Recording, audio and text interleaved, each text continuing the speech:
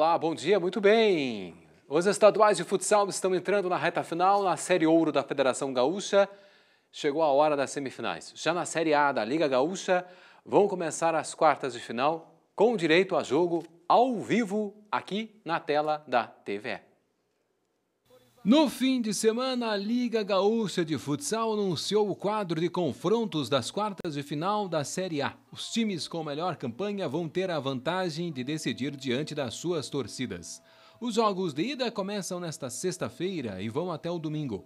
O primeiro deles será entre o Atlântico e o Passo Fundo, no Caldeirão do Galo, em Erechim. No sábado, mais uma partida. Lá na fronteira oeste, a Uruguaianense recebe o Cerca. Já no domingo, a bola vai rolar duas vezes. O primeiro confronto acontece logo às 11 horas da manhã em Marau, entre a AMF e Guarani de Espumoso, com transmissão ao vivo em canal aberto aqui na tela da TVE. Às 4 horas, o Guarani irá medir forças com a IESCO em Frederico Westphalen. A rodada de volta, com inversão dos mandos de quadra, será realizada na semana seguinte em datas e horários ainda por definir. Já na Série Ouro, o estadual promovido pela Federação Gaúcha de Futsal, os semifinalistas ficaram definidos no fim de semana. No domingo, a CBF e a Soeva garantiram as últimas vagas. Desde o sábado que o Atlântico estava garantido na próxima fase. Nas semifinais também está a Ser Santiago. As partidas de ida serão jogadas neste sábado. Em Erechim, o Atlântico encara a Soeva em duelo de clubes que disputam a Liga Nacional de Futsal. No outro encontro, a Ser Santiago recebe a ACBF, que também é forte candidata ao título. Os embates de volta estão marcados para o sábado seguinte com a troca dos mandos. Se na Série Ouro o fim de semana foi bom para a CBF, na Liga Nacional de Futsal as coisas se complicaram para o time de Carlos Barbosa após a derrota em casa para o Jaraguá. Nada está perdido, mas que ficou mais difícil lá, ficou. Com a derrota por 3 a 1 diante da sua torcida, a ACBF agora vai ter que ganhar na casa do time catarinense no tempo normal e também na prorrogação para manter vivo o sonho do hexacampeonato. Na noite de sábado, com um excelente público no ginásio Sérgio Luiz Guerra, a Laranja até conseguiu sair na frente do placar, gol de Barbosinha. Mas o Jaraguá, um daqueles times chatos e talentosos, virou o jogo com tentos de Pedrinho por duas vezes e Leco. A partida de volta está marcada para o próximo sábado na Arena Jaraguá, que tem a melhor média de público da temporada da LNF. Quem seguir no campeonato vai enfrentar nas semifinais o vencedor do confronto entre Pato e São Lourenço. A final da Liga Nacional em dezembro será disputada em jogo único justamente em Carlos Barbosa, na Serra Gaúcha. Muito bem. Bom, a gente vai falar, como muitas vezes aqui no TVA Esportes, de uma modalidade que está né, aos poucos aqui sendo construída, que é o hóquei sobre a grama. E a ABB de Canoas promove aulas de hóquei sobre a grama. Por isso, hoje no TVA Esportes a gente recebe o Matheus Rodrigues, professor dessa modalidade, professor da ABB, também faz parte de vários projetos também ali junto a Canoas. Bom dia! Bom dia, bom dia, Marcelo. Boa tarde, tudo bem? Boa tarde, né, para é, alguns. eu acho que é. Boa é, tarde, fica... Prazer, prazer muito grande estar aqui Legal. podendo falar do, um pouco do nosso esporte, do rock sobre a grama com vocês. aqui. Exatamente. Bom, esse trabalho, né? ABB Canoas, gra... so- hockey sobre a grama, mas também tem, é o chamado, também tem o hockey indoor, né? Indoor, indoor. O projeto, né? Há quanto tempo? é- é- é- eu sei que tem uma quadra que foi, foi inaugurada em 2021, recentemente, ainda faz pouco tempo, faz Isso. que, três anos em Canoas, uma Isso. quadra que é oficial. Eh, como é que é trabalhado, como é que é realizado esse pro- projeto, esse trabalho também da própria ABB de Canoas? É, um, é, a quadra foi, como tu disse, bem disse, foi inaugurada em 2021, né? Ah, o hockey já vem sendo trabalhado no estado há mais tempo. Há mais tempo. Ah, porém, com a vinda da quadra oficial, ela é a primeira quadra oficial fora do Rio de Janeiro. Então, foi o primeiro Só o Rio de Janeiro tem uma outra Isso, quadra é, oficial? hoje é, é oficial sim, é no Rio de Janeiro, a única oficiais. E Então, aqui? e aqui agora. De hockey sobre a grama, o Hockey 5, que, é, que a gente tem trabalhado mais aqui no, no estado. Uhum. Então, com a vinda da, do, do- do- da, da quadra para cá, a gente começou a crescer cada vez mais né, o esporte e projetos começaram a surgir. E, e o ACF, que é o Atleta Cidadão do Futuro, Uhum.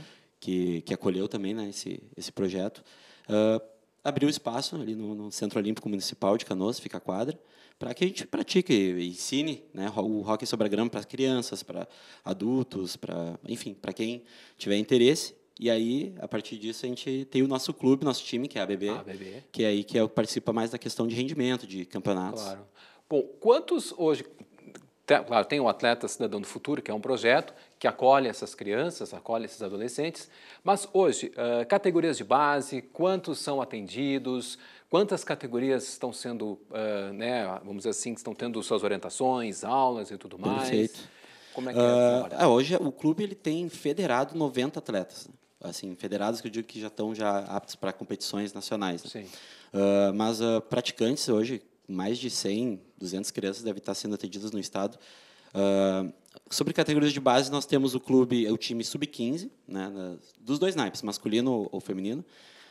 sub-15, sub-18, sub-21 e também o adulto. Então a gente engloba todas essas categorias, né? de, no time. E na parte ali do, do esporte mais educacional, dentro da escola, então a gente tem crianças começando com 10, 9 anos, já a praticar o esporte, daí já dentro da escola, né? uma parte assim, mais uh, de aprendizagem, mais escolinha. Né? Então tem essa diferença do rendimento, que tem os times, sub-15, sub-18, que já participam de competições, e nessa parte do esporte mais educacional dentro da escola, que também o, o projeto acolhe, uh, que é mais para aprender, ensinar as crianças desde nova, que e quem gostar, né?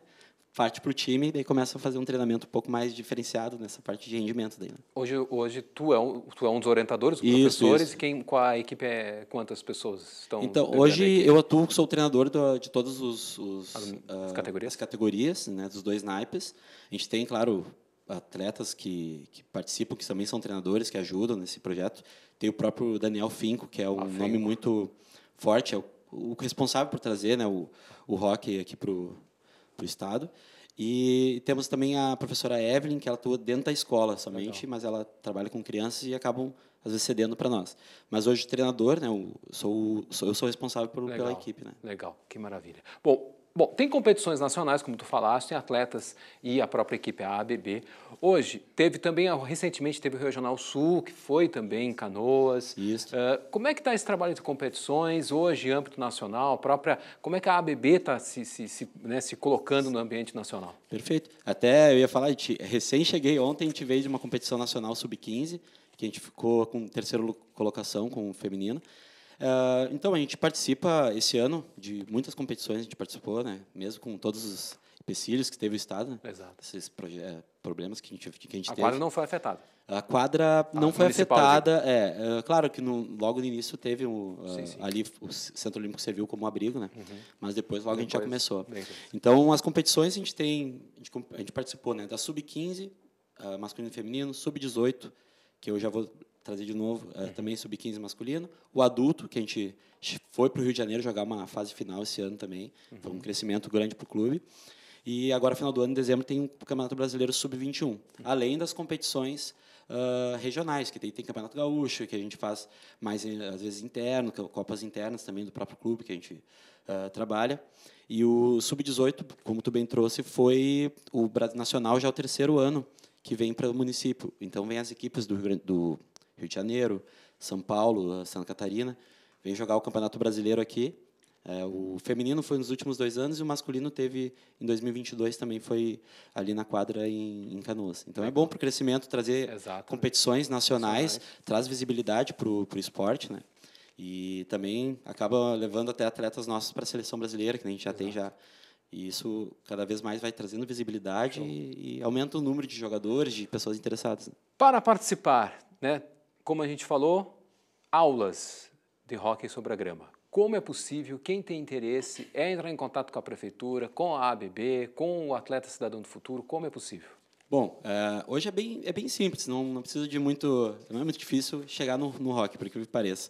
É um esporte que muita gente não conhece, né, mas ali em Canoas a gente tem os treinos, né, então durante, é, nas terças e quintas hoje e aos sábados, então a gente tem uma, uma, um horário que é, são as escolinhas, que é a escolinha, então, que é mais cedo, das 5 e meia até as 19 horas ali, para aberto para todos. Que quem quer aprender ou quem está iniciando ali. E depois disso daí a gente tem o, a, o, do time, do clube mesmo, a parte de rendimento, mas que também, se quiserem, estão convidados a, a olhar e quiser ali bater uma bolinha ali, é legal. E aos sábados também, pela manhã, a gente, a gente trabalha ali no Centro Olímpico Municipal. Né? Então, é bem, esse trabalho está bem assim, é, legal para pessoal que quiser é, conhecer. Né? Tá todos, estão todos convidados. O pessoal pode chegar. Pode chegar, eu vou estar tá lá, vou estar tá lá dando treino. Vai explicar e vai dando é, treino. ensino, a gente tem o material que a legal. prefeitura cedeu para nós e temos bolinhas, a gente ensina desde o princípio, do início.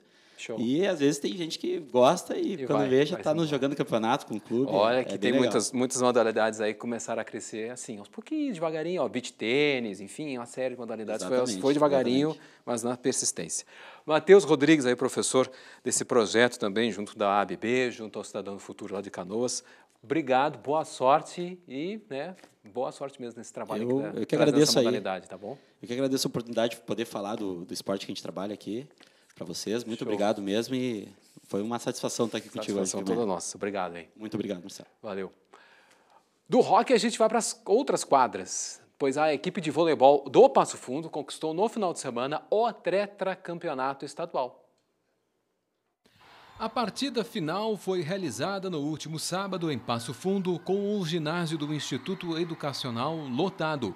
O confronto foi equilibrado entre as meninas do B8 UPF contra o Juventus de Teutônia. Nos dois primeiros sets, vitória para as donas da casa com um duplo 25 a 22. No terceiro e decisivo período, as passofundenses dominaram a partida e conquistaram o título por 25 pontos a 12. O clube chegou ao tetracampeonato gaúcho depois das vitórias em 2015, 2016 e 2023. O técnico Gilberto Balaver destacou que a conquista é resultado de um trabalho de 12 anos feito a muitas mãos. Belaver disse que as atletas estavam preparadas para a decisão e as duas semanas que antecederam a final foram de muitos treinos focados na decisão. O técnico revelou que estudou bastante o adversário e passou vídeos de jogadas para auxiliar nos treinamentos. Além da campeã Passo Fundo e da vice Juventus, a ginástica de Novo Hamburgo completou o pódio dos três melhores clubes da temporada 2024 do Campeonato Gaúcho Adulto Feminino. Parabéns aí, né? A gente segue nas quadras agora da Liga Nacional de Basquete Masculino. O Caxias do Sul não resistiu ao forte time do Flamengo, foi derrotado na, no Rio de Janeiro. O time gaúcho perdeu para os cariocas por 84 a 55 na partida disputada ontem à noite no ginásio do Tijuca Tênis Clube, no Rio de Janeiro. A equipe carioca demonstrou sua superioridade ao dominar o jogo do início ao fim, mantendo-se à frente e impondo um ritmo forte sobre os caxienses. Diante de um dos favoritos ao título, o time caxiense teve muitas dificuldades para desenvolver seu jogo. Com uma defesa forte e velocidade para aproveitar os contra-ataques, o Flamengo abriu vantagem no primeiro quarto e fechou a parcial com 22 a 14. Os cariocas mantiveram um ritmo forte até abrir uma vantagem confortável. No último quarto, as equipes atuaram com os reservas, pois a partida já estava decidida. O Flamengo chegou ao sétimo triunfo na competição. Já o time da Serra tem duas vitórias e três derrotas. Este confronto marcou o início de uma sequência de jogos fora de casa para o Caxias do Sul Basquete, que também enfrentará o Vasco da Gama nesta quinta e o Botafogo no sábado, ambos no Rio de Janeiro. O próximo jogo em casa será somente no dia 14 de novembro contra o Brasília, no ginásio do SESI, em Caxias.